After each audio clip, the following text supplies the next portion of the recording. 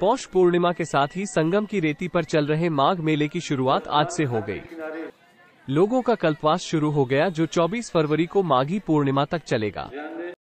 वहीं कुछ ऐसे श्रद्धालु हैं जिनका आगमन मकर संक्रांति पर होता है। आज गुरुवार को पौष पूर्णिमा पर्व पर भीषण ठंड के बावजूद पुण्य लाभ अर्जित करने के लिए श्रद्धालुओं की भीड़ आने का सिलसिला जारी है। संगम की रेती पर स्नान के साथ ही जगह जगह चाय नाश्ता एवं भंडारा शुरू हो गया। जहाँ लोग स्नान के बाद प्रसाद भी ग्रहण कर रहे हैं। बता दें कि इसके बाद 9 फरवरी को मौनी अमावस्या और 14 फरवरी को बसंत पंचमी तथा 24 फरवरी को माघी पूर्णिमा और 8 मार्च को महाशिवरात्रि का स्नान होगा। इस बार मेला क्षेत्र सात सौ छियासी हेक्टेयर में बसाया गया है, जिसे तीन जोन में बांटा गया है। सात सकिल और चौदह थानों के साथ इकतालीस चौकियाँ स्थापित की गई हैं।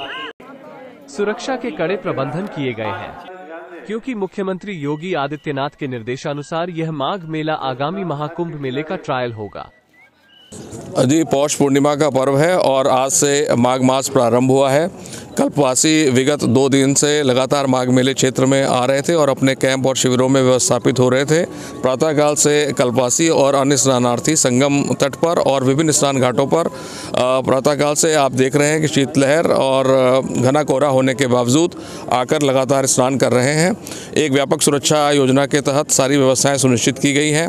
माघ मेले क्षेत्र में सुगम आवागमन देने के उद्देश्य से, चाहे वो अयोध्या से साधु संत आ रहे हों या अन्य अन्य तीर्थयात्री यहाँ पर आ रहे हो संगम राज में तो उसको सुगम आवागमन देने के लिए हम लोगों ने माघ मेले क्षेत्र में पार्किंग की व्यवस्थाएँ सुनिश्चित की हैं, जिससे श्रद्धालुओं को कम से कम पैदल चलना पड़े। जल में सुरक्षित स्नान देने के लिए डीप वाटर बैरिकेटिंग जाल का व्यवस्थापन, संगम घाट पर और सभी अन्य स्नान घाटों पर सुनिश्चित किया गया है। उसके साथ साथ जाल और डीप वाटर बैरिकेटिंग के साथ साथ फ्लड कंपनीज़ के जवान जो कुशल तैराक होते हैं, उनका व्यवस्थापन किया गया है। जल पुलिस के लोग लगाए गए हैं। प्रशिक्षित गोताखोरों की नियुक्त नियुक्त की गई है। साथ ही साथ जल में एक पुलिस फ्लोटिंग पुलिस चौकी की भी स्थापना की गई है, जिसमें राजपत्रित स्तर के अधिकारी लगातार मौजूद होकर नज़र रख रहे हैं। एसडीआरएफ और एनडीआरएफ की टीम भी रेस्क्यू पर्पज़ से जल में मौजूद है। इस माघ मेले क्षेत्र में सीसीटीवी कैमरों के माध्यम से भी लगातार हम लोग नज़र रख रहे हैं और आवश्यकता अनुसार ड्रोन का प्रयोग भी कर रहे हैं। सर अब तक लगभग कितने श्रद्धालु एक मोटे अनुमान के तौर पर दो लाख से अधिक श्रद्धालु संगम घाट पर और अन्य स्नान घाटों पर आकर स्नान कर चुके हैं। Thank you